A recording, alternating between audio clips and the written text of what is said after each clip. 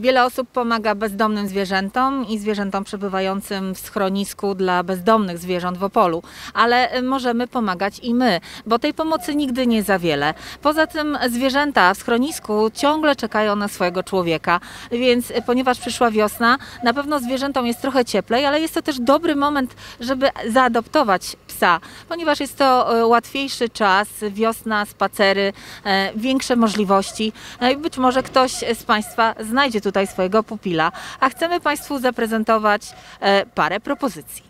Puma i Kobra e, to matka z córką, 2 lata i 4 lata, e, w typie Amstafa, e, przemiłe, przeurocze i przepiękne, ale niestety nie mogą być oddzielnie, więc tutaj jest propozycja adopcji w dwupaku, czyli matka z córką. Mieszkały w Kojcu e, i mogą dalej przebywać w Kojcu. Ważne, żeby miały jednak trochę czułości ze strony człowieka i atencji.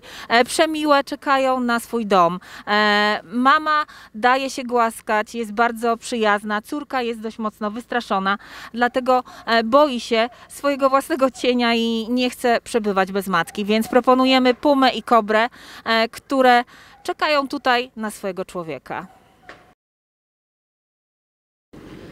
Mamy przystojnego, dwuletniego Aleksa w typie owczarka niemieckiego. E, Jak Państwo widzicie, dość energe- energetycznego.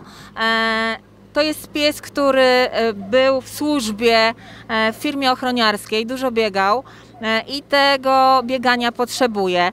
Nie lubi innych psów. Na pewno będzie wymagał dużej atencji ze strony właścicieli, dużo czasu na wolnym powietrzu, spacerów, biegania, bo takie są owczarki niemieckie, nawet te nie do końca rasowe.